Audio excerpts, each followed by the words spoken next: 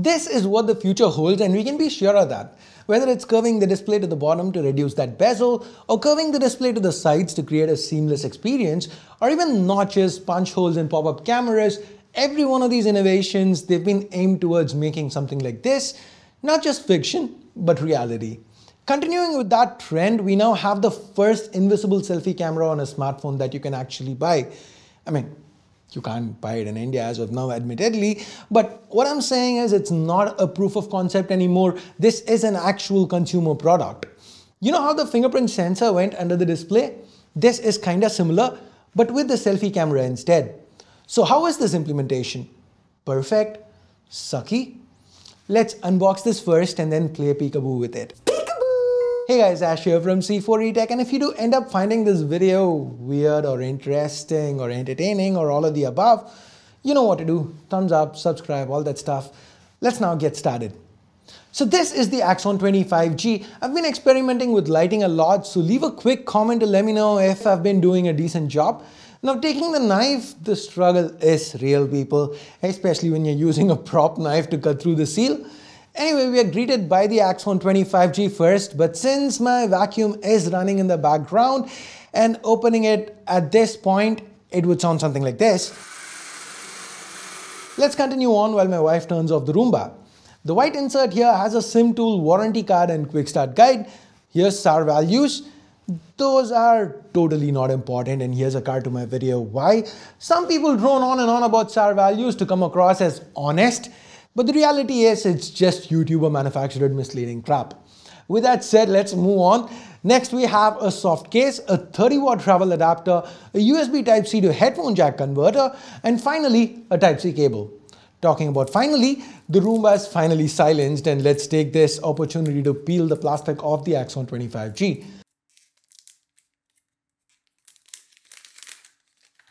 So this here is where that selfie camera is. Turning on the display, so far I can't really see it. Okay, I actually can.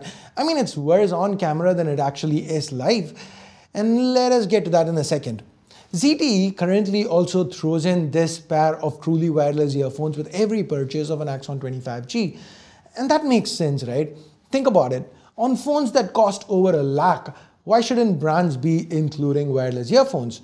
I mean, they say cut, they cut out the headphone jack due to space constraints, but why not wireless earphones? But we can't really complain about that now since 2021 seems to be the year where we are going to be losing out on chargers. Okay, en enough beating around the bush. Let's get to the reason why you're here, the reason why I bought this phone, the new innovative hidden camera. So what's actually going on here? The pixels turn off and get transparent when the selfie camera turns on, and that helps create a seamless full screen display without the need for having any mechanical parts. Now remember, each pixel still needs to be powered and we do have some very minute connections going on here. That means the display is more translucent than transparent. As per Linus, something like the LG Transparent TV allows for just about 30% light through, and that kind of seems to be the, the case here with the Axon 20 5G as well. Now the implementation, it definitely looks great. I mean, you can see it, but only when you go looking for it. Watching a video from this distance, you aren't really going to be noticing it much. To be fair though, you probably aren't noticing the punch holes much on most phones once you get used to them either. Hell, there are millions and millions of people who've grown used to that wide apple notch. So this is, I mean, not noticing it, getting used to it is not saying much. That said, it is a pretty cool step towards that totally bezel-less future I mentioned at the start of the video. Now, ZTE does realize the limitations as well, and funnily enough, most wallpapers included, they are pretty dark up top. This small part of the display, it also happens to uh, appear to be of a lower resolution. Technology doesn't seem to be there yet for pixels to be packed tighter. So you do get this kind of patched over feel, low resolution feel, like you see here, or here, or even here. One thing to remember is that this is pretty noticeable only when you look at the display at an angle. Look at the display head on and with most colors, the camera, the selfie camera, it's pretty invisible. Now in all this excitement, it's easy to forget that the premier function of this is actually as a selfie camera. And how does the Axon 20 5G fare in that regard? very average, I'd say. The hardware doesn't seem bad. We have a 32 megapixel f2 camera here, but my first thought was, damn, they have the purity mode on by default. But no, that wasn't it. The fact that there is a display over the camera and the first genness of it, if I can say that, uh, means we get this kind of glow. Now for those who've used Snapseed, this feels like uh, the Axon, you know, it has the glamour glow on at all times.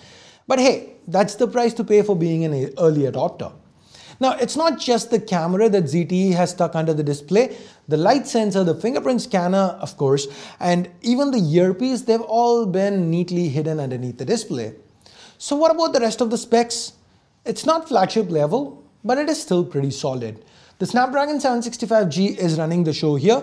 It's paired with 6 or 8 gigs of RAM and 128 or 256 gigs of onboard storage. Pretty solid premium mid-range specs. The display is OLED, of course, given all the things that are under it. It can't really be LCD, right? And this is a very large panel, 6.92 inches. The colors aren't exactly what you'd call natural. They are contrasty, quite punchy.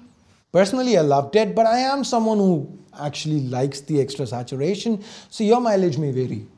From a software perspective, we have MiFavor UI here, We are naming aside. It's quite stockish. ZTE is not tinkered around with a whole bunch of things. There are a few nice to haves like raise and double tap to wake, shake to turn on the flashlight, three finger pinch for screenshots. The user interface is nice and snappy. Nothing much to complain about except the fact that I would have loved to see Android 11 here. The battery capacity is also not as high as you'd expect from a phone this size.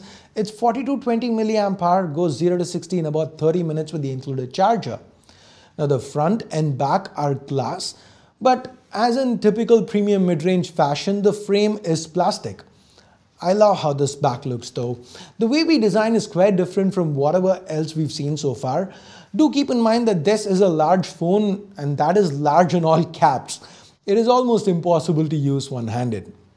Now, from a so-called tier one brand, this one feature, this one hidden camera feature, this innovation would have been enough for them to crank the price all the way up to above a $1,000. But ZTE haven't done that. They've actually kept the price perfectly reasonable. 450 US dollars for the global variant. And it's even cheaper in China with even third-party sellers selling it for as low as $400. Is the implementation perfect? Not even close. Are there sacrifices being made? Hell yes. But the Axon 20 5G seems to be a solid mid-range phone and more importantly, it's a sign of things to come. What 2021 and maybe even 2022 have in store for us. And that is what had me and has me most excited here. And oh yeah, before we wrap, I totally forgot about the camera array here.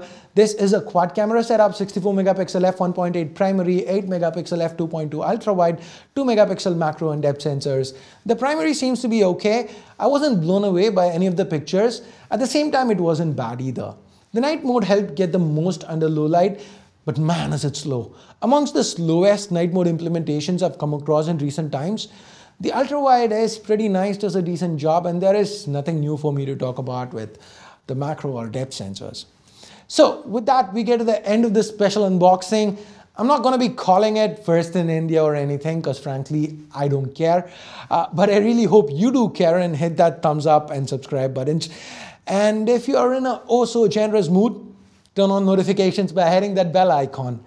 And with that, it is time for me to bid you adieu. Thanks a lot for your time. Thanks for watching. Until next time, my name's Ash. You've been watching C4ETech, and I'm signing off for now. You guys have a great day. Bye bye.